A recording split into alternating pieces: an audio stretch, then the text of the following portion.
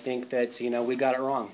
The city got it wrong. I think that we uh, grossly overpaid, and it's not wrong for cities to get engaged in something like this, but, you know, the return on our investment was not um, adequate.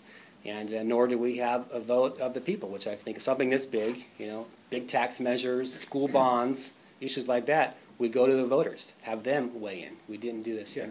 Like a lot of the development interests, the Chamber of Commerce said this is the reason that we, we, we they're not supporting my candidacy. And so I, I think that's an issue. It's, it's a policy issue. It's a difference. And, um, you know, just uh, have to live with it. And uh, more importantly, talk to the electorate as far as, um, you know, how I make my decisions, why I make my decisions. And, uh, you know, I'm confident that, you know, the people of Sacramento appreciate the approach that I brought to this issue as I would bring to other issues in the state legislature.